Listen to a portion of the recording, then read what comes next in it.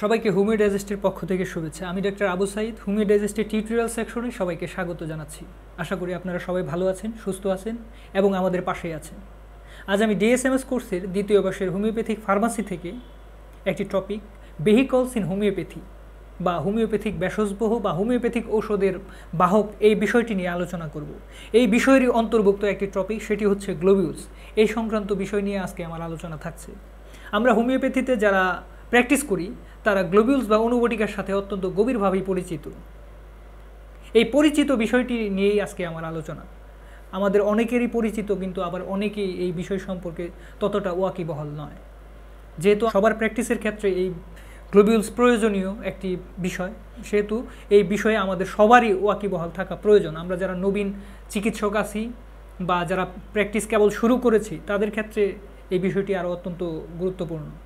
এটি মূলত সামেল হেনিমেনের সময় থেকে হোমিওপ্যাথিক চিকিৎসা ব্যবস্থায় ঔষধের একটি গুরুত্বপূর্ণ বাহক হিসেবে ব্যবহৃত হয়ে আসছে। এটি যে পরবর্তীতে আবিষ্কৃত হয়েছে বা পরবর্তীতে ব্যবহৃত হচ্ছে তা কিন্তু নয়। এটি সামুল হেনিমেনের যখন তিনি হোমিওপ্যাথিক চিকিৎসা ব্যবস্থা আবিষ্কার করলেন, তখন থেকে সামুল হেনিমেনই এটিকে ব্যবহার করতেন এবং সেই সময় থেকে এটি ব্যবহৃত হয়ে আসছে এবং ভেষজবহ হিসেবে যার প্রয়োজনীয়তা আজও সেই পূর্বের মতোই অখণ্ড রয়েছে। এই ভেষজবহটিকে তৈরি করার জন্য উত্তম মানের বিশুদ্ধ ইক্ষু কার্বোহাইড্রেট বা শর্করার প্রয়োজন হয়ে থাকে। আমরা যে গ্লোবিউলসগুলো ব্যবহার করি সেটা অনেকটা পোস্ত দানার মতো। তবে ব্যবহারিক ক্ষেত্রে বিভিন্ন ধরনের এবং বিভিন্ন আকৃতির গ্লোবিউলস আমরা ব্যবহার করে থাকি। দেখা যাচ্ছে কোনোটা আকৃতিতে একটু বড়, কোনোটা আকৃতিতে ছোট। এই আকৃতির ভেরিয়েশনের জন্য, তারতম্যের জন্য এই গ্লোবিউলসগুলোকে আমরা বিভিন্ন নাম্বারে নামাঙ্কিত করে থাকি। যেমন পাঁচ নাম্বার গ্লোবিউলস, দশ নাম্বার গ্লোবিউলস, পনেরো নাম্বার গ্লোবিউলস এবং আমাদের ব্যবহারের সুবিধার্থে এবং পেশেন্টের রোগের সাথে, তার অবস্থার সাথে মাত্রা মেলানোর জন্য আমরা এক এক সময় এক এক ধরনের নাম্বার যুক্ত গ্লোবিউলসগুলো ব্যবহার করে থাকি। কখনো দশ নাম্বার গ্লোবিউলস ব্যবহার করছি, কখনো বিশ নাম্বার। তবে আমাদের দেশের প্রেক্ষাপটে দশ নাম্বার, বিশ নাম্বার এবং তিরিশ নাম্বার গ্লোবিউলসগুলোই বেশি ব্যবহার করা হয়ে থাকে। এক্ষেত্রে একটি বিষয়, আপনি আপনার প্র্যাকটিসে যে গ্লোবিউলসটি ব্যবহার করছেন, সেই গ্লোবিউলসটি কত নাম্বারের? এই নাম্বার নিয়ে যদি আপনার ভিতরে কোনো ধরনের কনফিউশন তৈরি হয়, আপনি কনফিউজড হন। তাহলে এই কনফিউশনটা কিন্তু খুব সহজেই আপনি নিজেই দূর করতে পারবেন। একটি প্রক্রিয়া বা একটি প্রসেস বা একটি মেথড অবলম্বনের মাধ্যমে। এই গ্লোবিউলসগুলোর নাম্বারকে শনাক্ত করার জন্য একটি প্রসেস রয়েছে। সেই প্রসেসটি কি? আপনি যে গ্লোবিউলসটি ব্যবহার করছেন, সেখান থেকে দশটি গ্লোবিউলস নিন।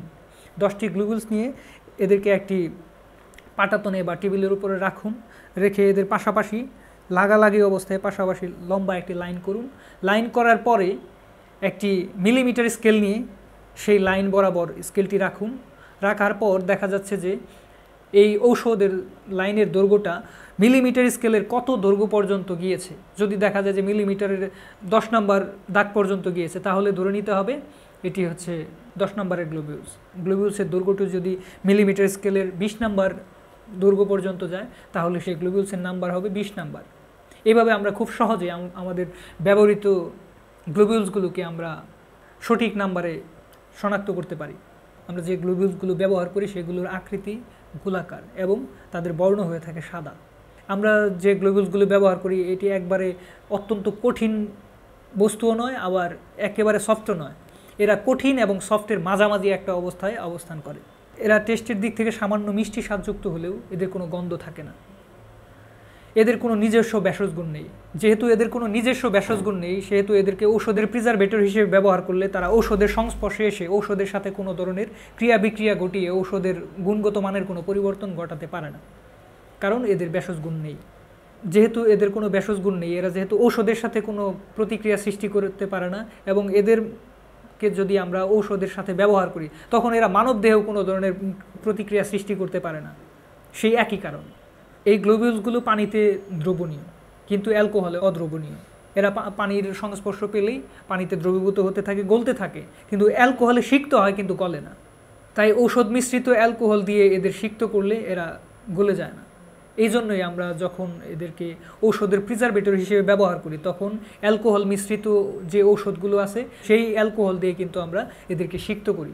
কারণ ডাইলিউটেড অ্যালকোহল বা ডিস্টিল ওয়াটারে মিশ্রিত ঔষধ প্রিজারভেশনের জন্য এই গ্লোবেলসগুলোকে ব্যবহার করি, তখন কিন্তু এগুলো পানিতে দ্রবণীয় হওয়ার কারণে পানিতে কিন্তু দ্রবীভূত হয়ে যাবে বা গলে যাবে, তখন কিন্তু এগুলোকে আর প্রিজারভেটর হিসেবে ব্যবহার করা যাবে না।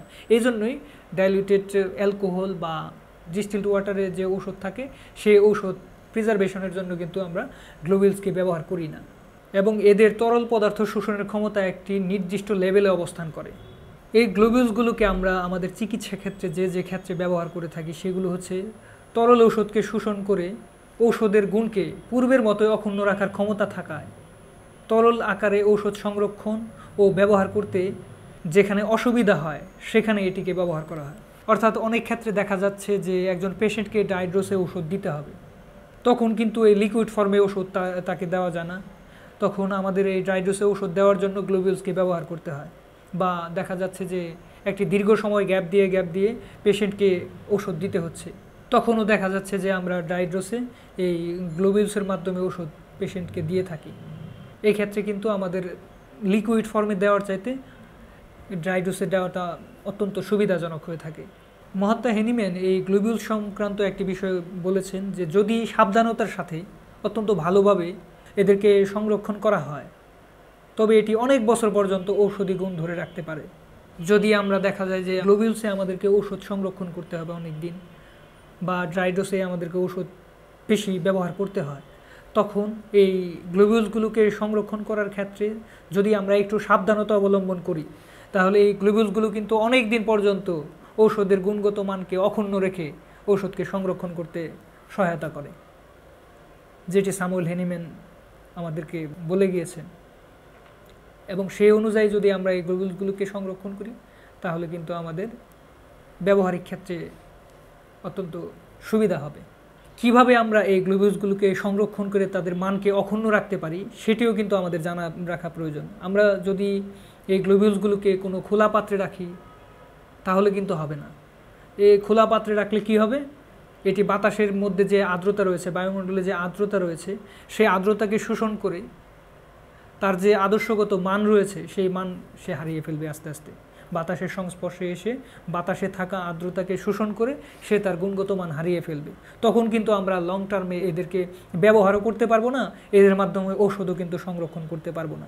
তাই এটিকে বায়ুরোধক বা ভালো মানের কোনো কাচের বোতল বা শিশিতে সংরক্ষণ করতে হবে।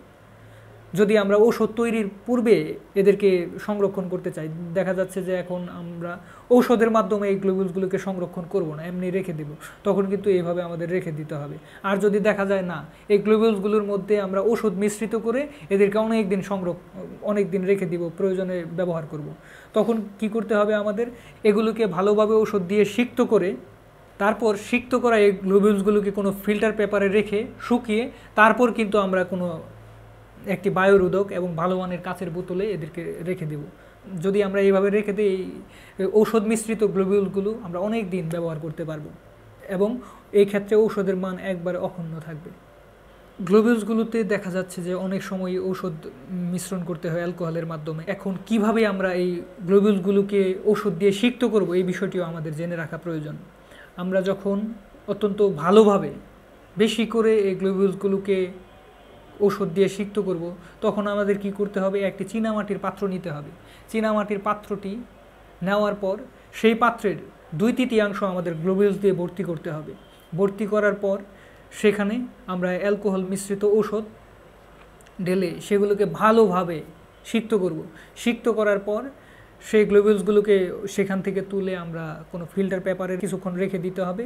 রেখে দেওয়ার পর সেই ফিল্টার পেপার গ্লোবিউলসে যে তরল পদার্থ ঔষধের যে অ্যালকোহল লেগে আছে, সেই অ্যালকোহলটাকে তারা শোষণ করে নেবে। শোষণ করে নেওয়ার পর সেগুলো জর্জরা হয়ে যাবে। জর্জরা হলে সেগুলোকে আমরা সংরক্ষণের জন্য রেখে দিতে পারব। এভাবে আমরা যখন কোনো ঔষধকে এই গ্লোবিউলসের মাধ্যমে সংরক্ষণ করব, তখন এইভাবে আমাদের এই গ্লোবিউলসগুলোকে প্রক্রিয়াজাত করে সংরক্ষণ করতে হবে।